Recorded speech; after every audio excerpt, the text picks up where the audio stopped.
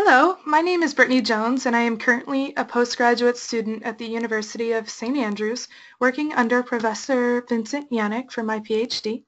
Thank you for attending my webinar. I was very grateful to receive the Mass Hui Bridge Grant, which supported a recent stay at Woods Hole Oceanographic Institute, where I worked with Dr. Laela Sayigh, and this webinar will outline some of the preliminary results from that study.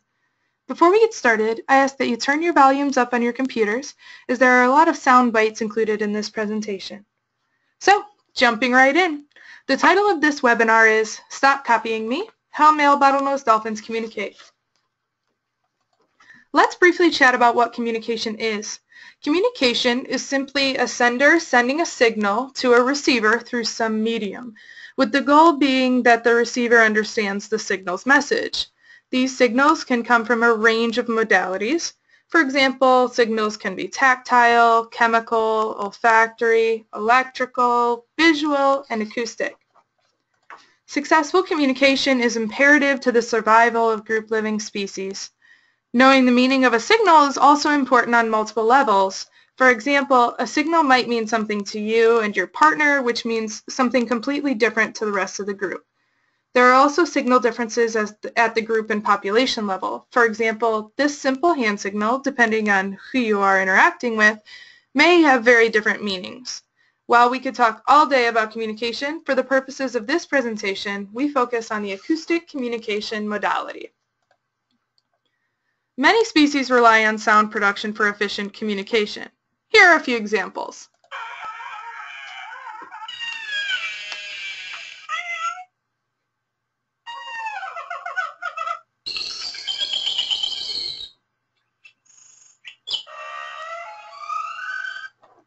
This modality has many benefits for both in-air and in-water communication because sound can travel further than the eye can see.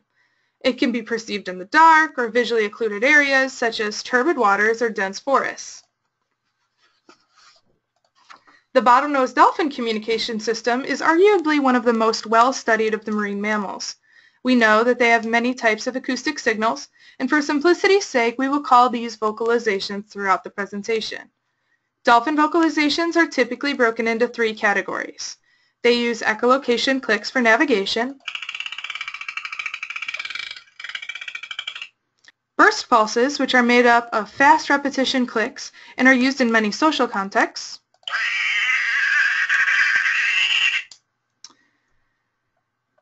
but we are going to focus on the third vocal category, the whistle.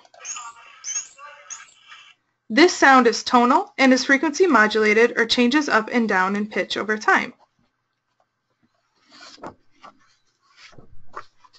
Bottlenose dolphins have what are termed signature whistles, which are individually specific whistles that are used most often by an animal when separated from their group and likely contains information about the animal's identity.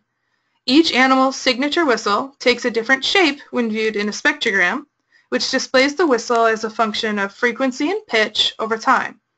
So you can see these three animal signature whistles sound very different.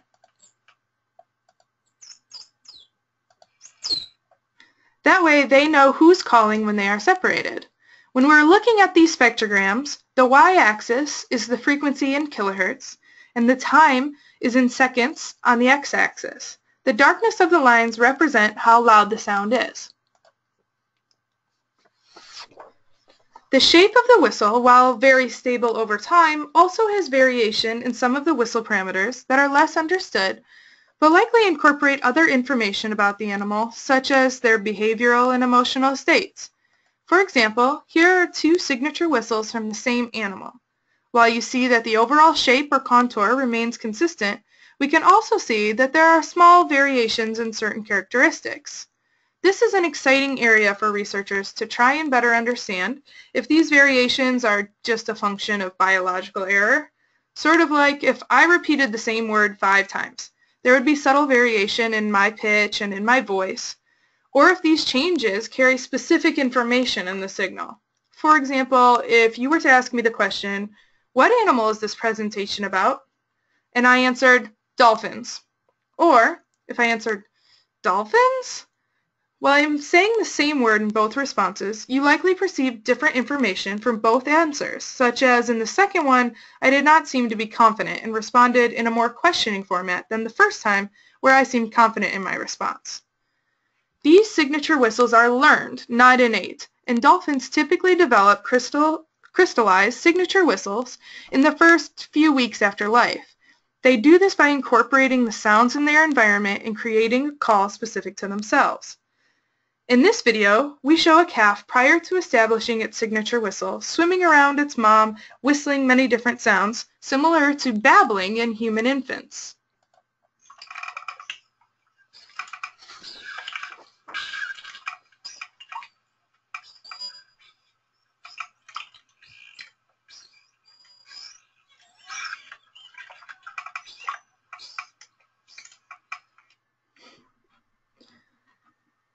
Dolphins have become an interesting model species to compare to humans as they vocally learn as human infants do, incorporating sounds of their environment and socially reinforced sounds into their adult repertoire. While that dolphin calf is really cute, what is possibly more interesting is their ability to be vocally flexible across their lifespan. So let's consider another human language process that may be used by dolphins, convergence. This is Brittany. Hello. She's from in the United Kingdom, where they speak, well, a very different kind of English. So at first, our interactions looked like this. But pretty quickly, she started to notice that she was commonly using British words when interacting with British colleagues. So why did she unconsciously mimic the accents of others? This phenomenon is called convergence and is the inclination to make our vocalizations sound more similar to the person we are communicating with. This can be an affiliative signal, can indicate that you are part of a social group, or can suggest that you're willing to invest effort into forming a bond. But we are not the only species to show vocal flexibility in this way. A few examples that have been found are the phoebe calls of the black-capped chickadees, the trills of the pygmy marmosets, the pant of the chimpanzees, screeches uh, of greater spear-nosed bats, and even the most feared of all the animal species, college freshmen, show convergence with their roommates within two weeks of moving in together. Alright, alright, now how do dolphins use convergence? Well, if you remember from earlier, bottlenose dolphins use individually specific signature whistles to identify themselves. These are represented by the black squiggly lines. Male bottlenose dolphins travel in small groups of two to three and form extremely close pair bonds with these alliance members, similar to the classic romances of Timon and Pumbaa or Bert and Ernie. Members of these pairs have been found to learn and produce matches of each other's signature whistles, as well as shared whistle types. A study in Australia found that three members of an alliance slowly converged on a similar signature whistle over a few years.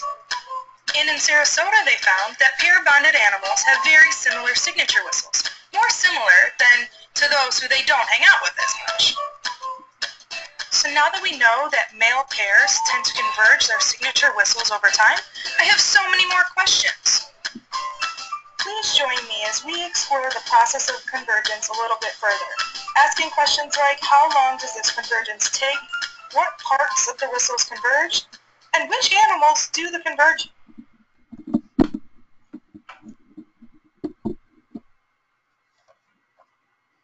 All right.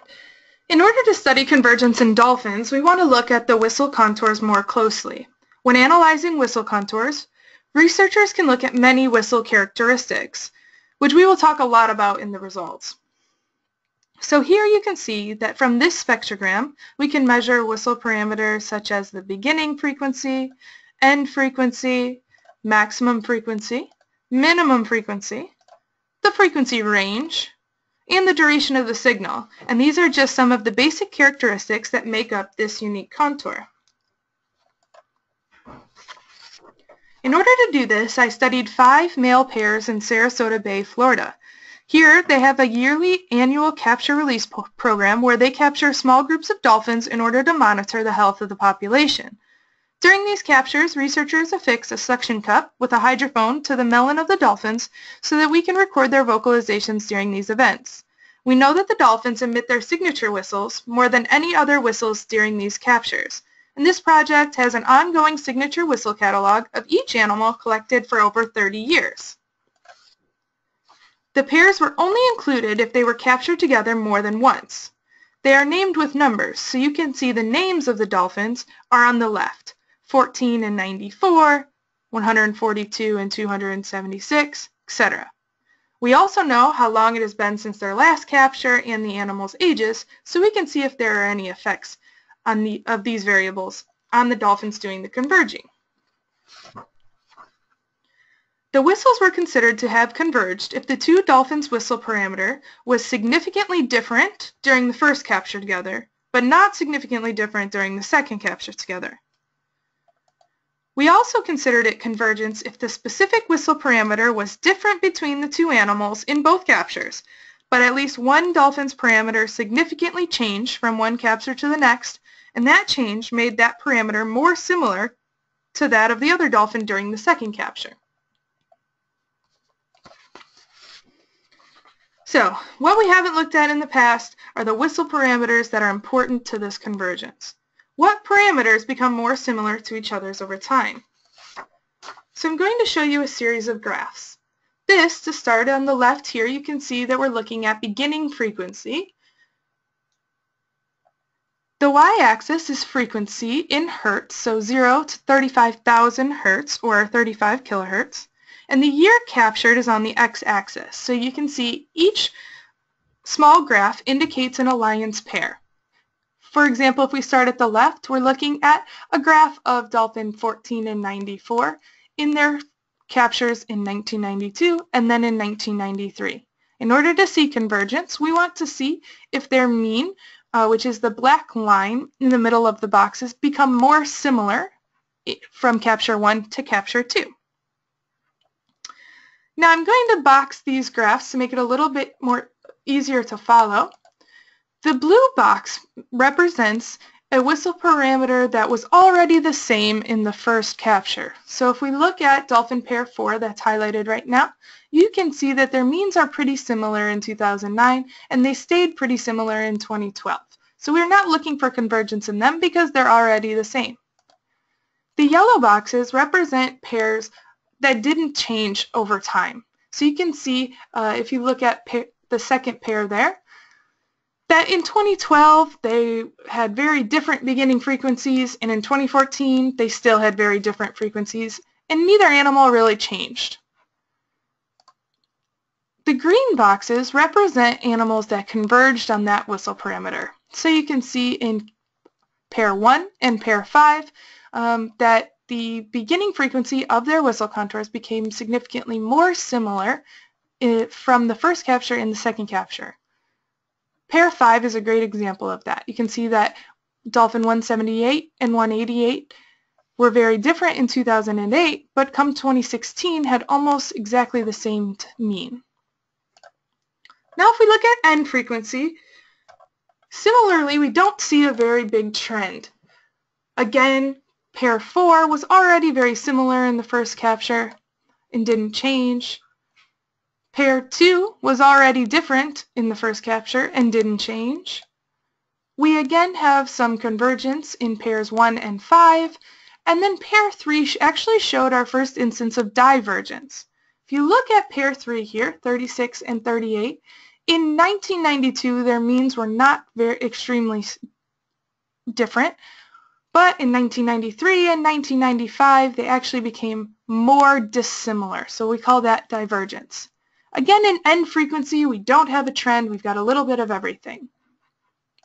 But when we look at maximum frequency, we have one pair, pair, pair 2, Dolphins 142 and 276, who were already similar in 2012 and remained similar in 2014, and the other four dolphin pairs all showed convergence um, from their first to their last capture.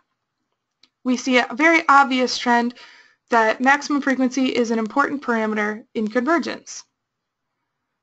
Minimum frequency it does not show the same trend. As you can see, we have one pair that was already very similar in the first capture, one pair that was already was different in the first capture and remained different across captures, two instances of convergence, and one instance of divergence. So again, no greater than chance trend here. But in frequency range, similar to maximum frequency, we have two pairs that were the similar in their first capture and stayed similar in the second capture, and three pairs that showed convergence over time. Again, with an overwhelming trend uh, that all five of these pairs had more similar whistles in their last capture than they did in their first capture. Finally, we look at duration. Duration, we had one pair that had very similar durations in their first capture and also similar durations in their second capture. We had one subtle convergence in dolphin pair 4, but you can see the means are still quite different and they have a pretty large standard error for their duration. What's interesting is the other three dolphin pairs actually all showed divergence in their duration. So they became more dissimilar over time.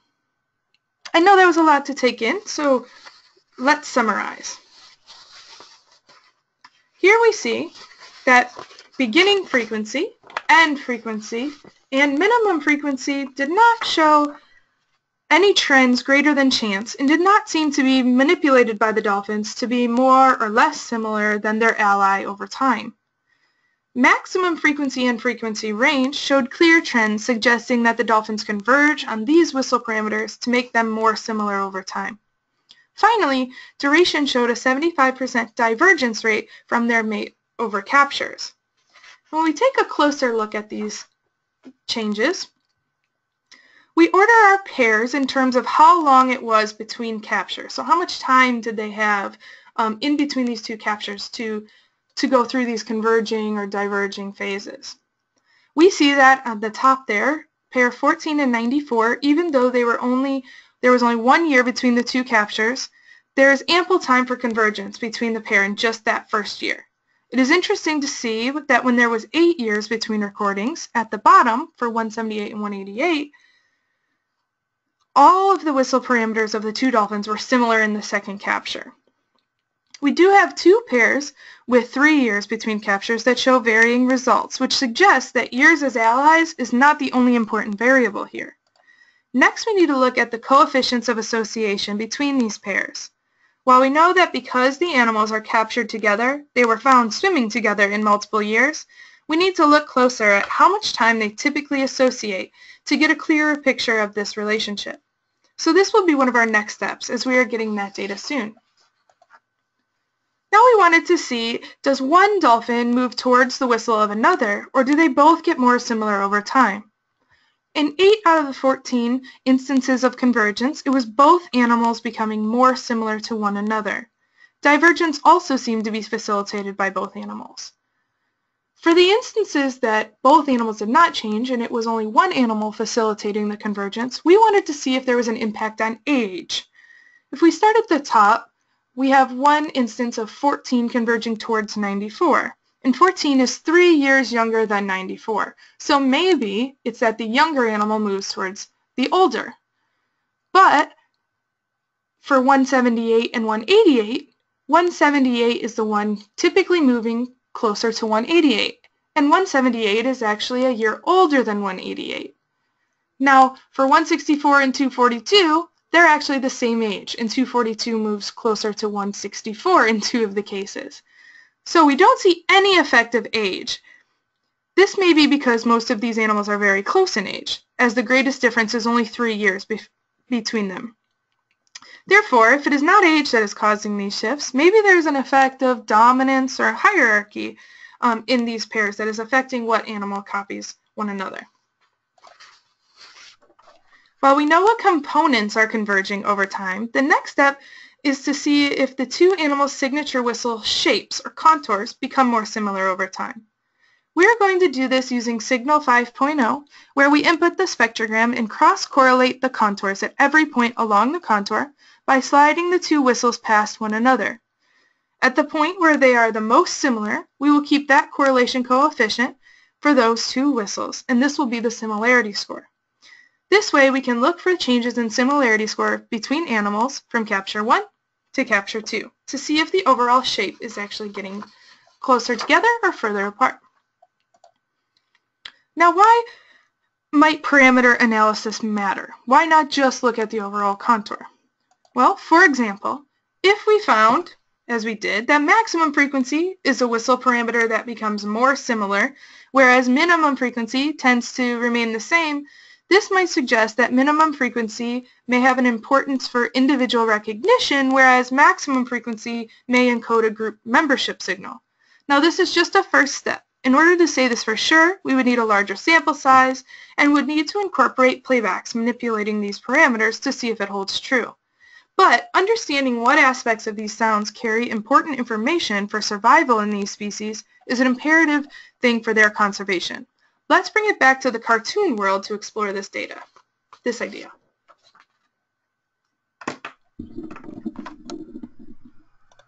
Noise pollution across the world's oceans has skyrocketed over the past 100 years, and with the advances of technology and ease of transportation, it does not appear to be slowing down.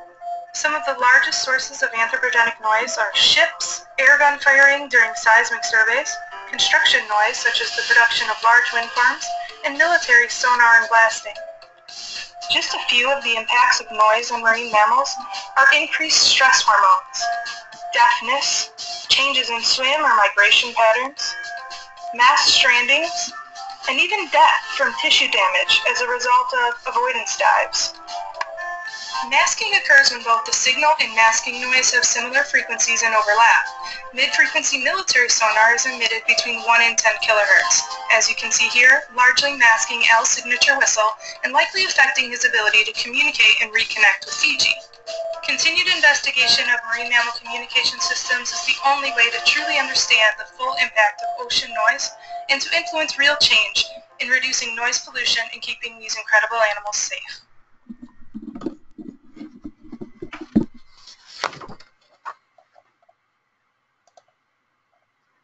Would like to take one moment to thank a few organizations that made this project possible. First, thank you to the Marine Alliance for Science and Technology for the grant that supported this research. My supervisor and co-author, Professor Vincent Janik, Dr. Laela Sayigh for hosting me at Woods Hole and for access to this rich data set, and Dr. Randy Wells and the Sarasota Research Program for their tireless work monitoring and recording this wild population of dolphins.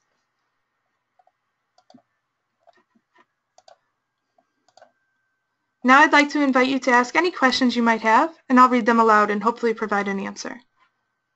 So we have one question. Uh, does the signature whistle stay throughout their lives? It's a good question. Um, yes, it does. They Once it's crystallized, it tends to remain the same throughout their life with pretty minimal uh, changes. But as we can see here, they, they can have differences across a signature whistle for different contexts, um, and there can be some subtle changes depending on their social affiliations and things throughout their life. All right, well, thank you so much for attending. Have a great day.